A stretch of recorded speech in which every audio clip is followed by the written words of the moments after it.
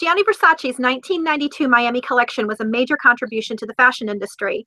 Joining us is Hal Rubenstein to tell us more about how this collection, um, how this collection defined fashion and how it ended up in his latest book, The Looks of Love: 50 Moments in Fashion That Inspired Romance. Hal, welcome to Ultimate Report. Hi, good to see you again, Mary.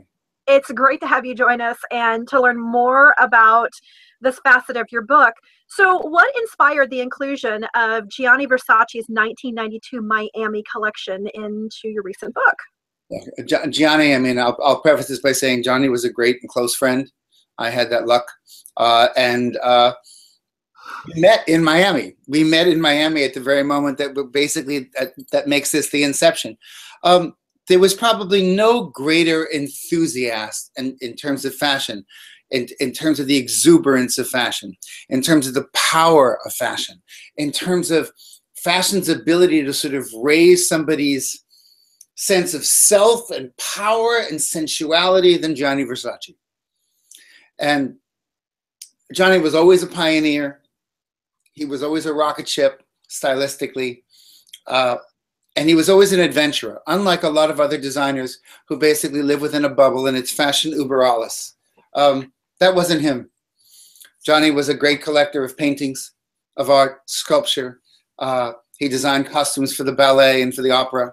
Um, he just, if, if there was culture out there, movies, it, there was there was Johnny soaking it all in because, frankly, to him, all of that became inspiration, inspiration for his own for his own creativity. And when he discovered Miami, it was like this infusion into his arm. It just jet propelled him. What happened was actually uh, Versace and his and his partner Antonio they were on their way to Cuba to to see Cuba, and they you know at that time Cuba was not an was not an easy place to get to, so you had a charter flight from Miami, and the, the charter got delayed. And so Gianni told his driver, "Take me some." One of his favorite words, Take me someplace that isn't boring. So the driver took him to the News Cafe, which was literally, I hate to use the term ground zero because it now means something else. But it, it was it was it was Miami Central in, in the early 90s when remember this is Miami was was bursting at that time.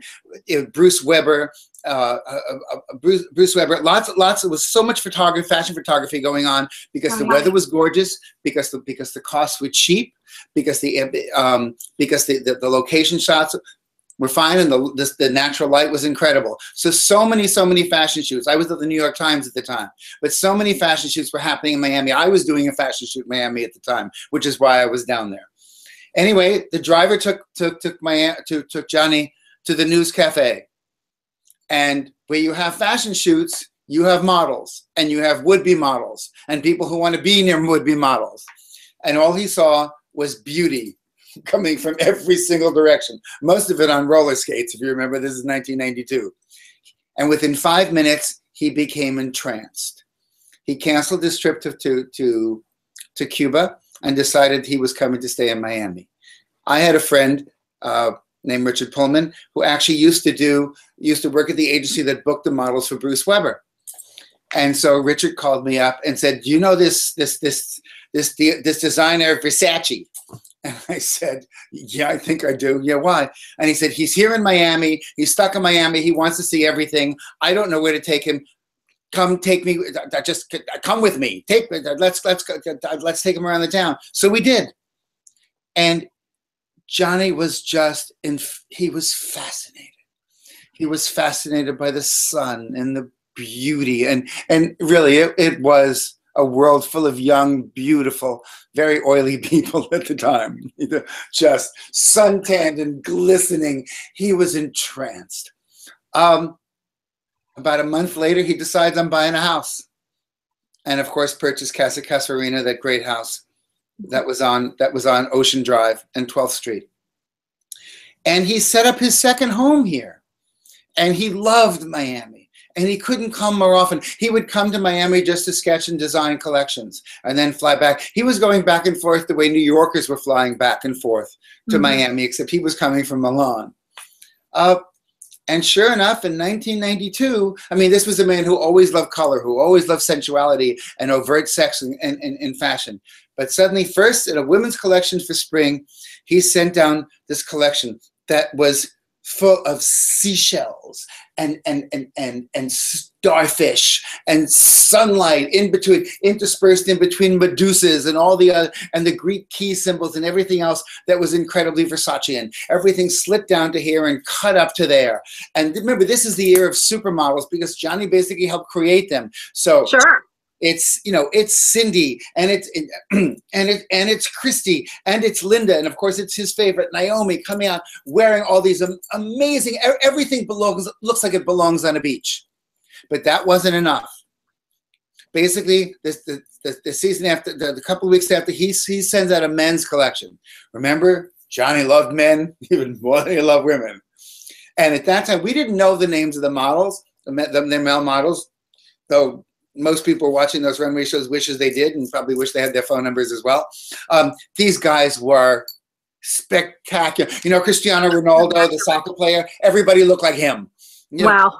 It was one spectacular man after the other wearing a silk brocaded, you know, one of those, those, those silk brocaded shirts, cut you know, basically totally cut down to there with with white pants with little eyelet cutouts and lace shirt. The, the clothes were so unbelievably overt, but so unbelievably made.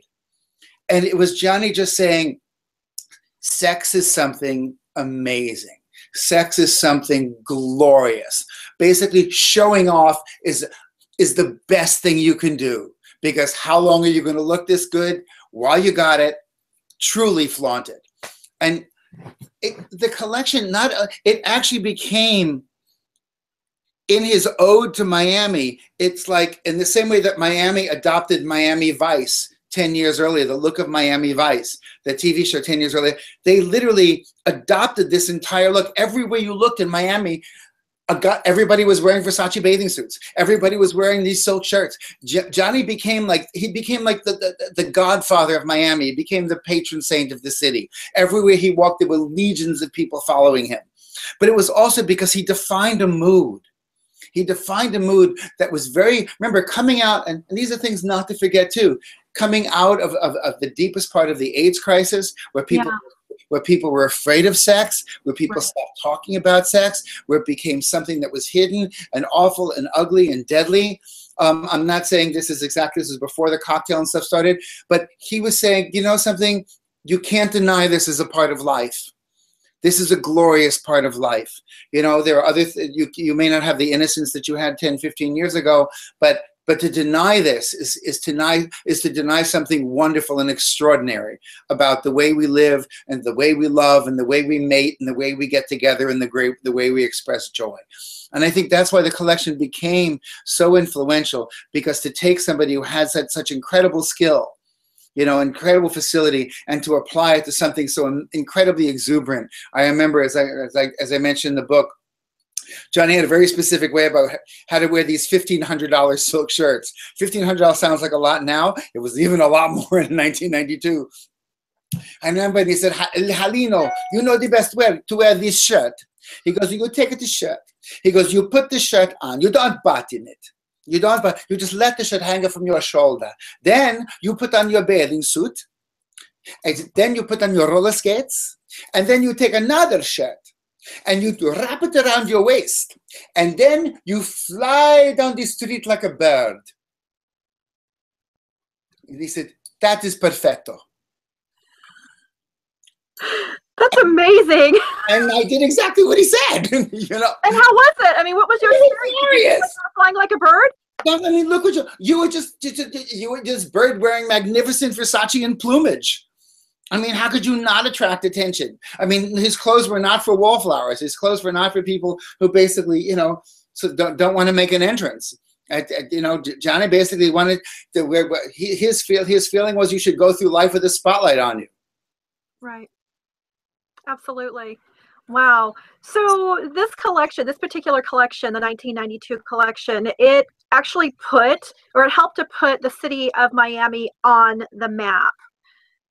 Mm-hmm. How did this happen? Well, I, I, again, I think you know, it's it started with you know with the show Miami, Mm-hmm. Miami, you know, again, again happens nothing happens sort of by itself. Miami was a city. You know, my grandmother used to go to go spend winters in Miami. It was it was a city full of old folks um, who went. You know, basically with they used to call snowbirds. People who came down from the north to go down there.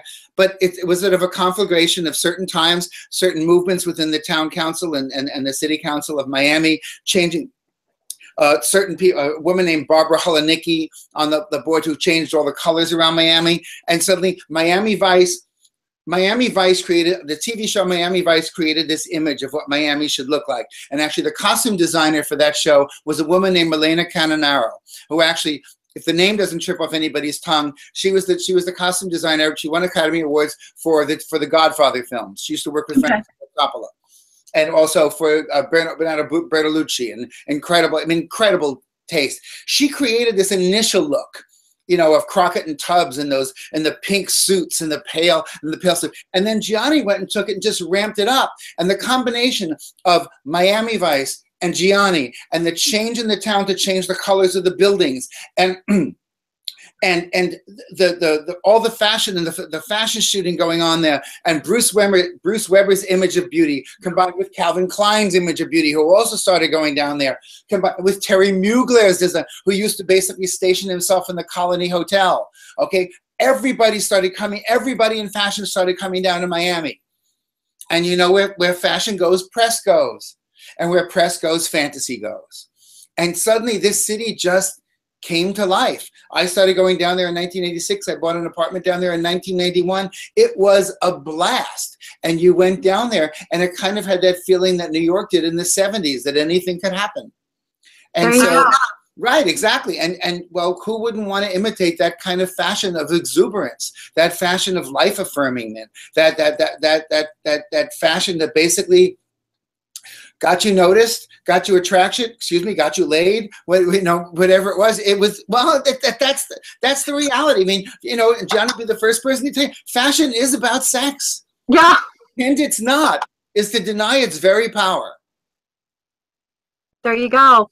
Well, Hal, where can we purchase our copy of The Looks of Love 50 Moments in Fashion That Inspired Romance? If it's not at your local bookstore, they can get it. If you have a local bookstore, they can you can get it right away. If not, you can go on Amazon.com. It's there. You can go on BarnesandNoble.com, or you can get it on, on your Kindle if you like, though it's really much more fun to have a hardcover. But then again, I'm very old fashioned. Um, there it is. You can get it on HSN you can get on HSN where you can where you can shop on my clothing line, uh, Hal Rubenstein collection. I forgot about that. Before. And it's a great collection, by the way. I've seen it more than Thank once. I like it. Thank you. Yeah, we're in our third year now. I'm very proud of it. Awesome. All right. And uh, Hal, thanks so much for joining us. It's been great having you on the show and learning more about Gianni Versace in relation to your book. Wonderful. Thank you so much for having me. Catch up with me online. I can be reached at www beautereport.com, B-E-A-U-T-E report.com, on Twitter at Beauty Publicist, and Ultimate Report on YouTube. Everyone, thanks so much for joining us on Ultimate Report. Have a beautiful and successful week. Mwah.